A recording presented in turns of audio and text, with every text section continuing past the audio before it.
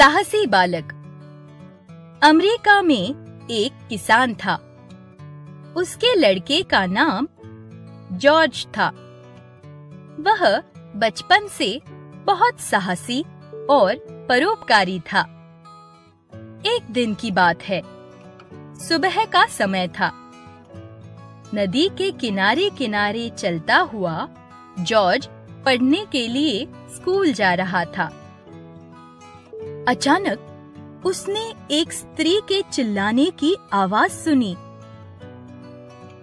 बचाओ बचाओ, मेरे बच्चे को डूबने से बचाओ। बहुत से लोग दौड़े आए।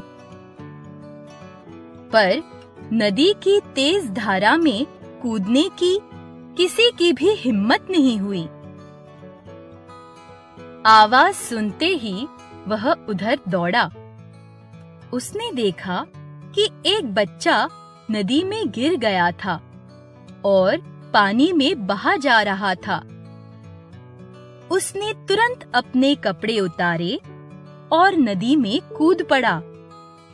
लोग उस वीर बालक को एक टक देख रहे थे। पानी के तेज बहाव में तैरता हुआ वह बच्चे की ओर बढ़ रहा था। थोड़ी ही देर में उसने नदी में बहते हुए बच्चे को पकड़ लिया।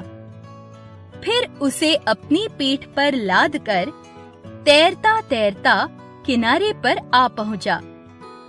बच्चे की माँ ने और दूसरे लोगों ने जॉर्ज को गले लगा लिया और उसकी खूब प्रशंसा की।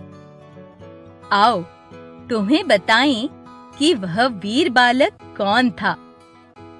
वह बालक था जॉर्ज वाशिंगटन जो बड़ा होकर अमेरिका का राष्ट्रपति बना।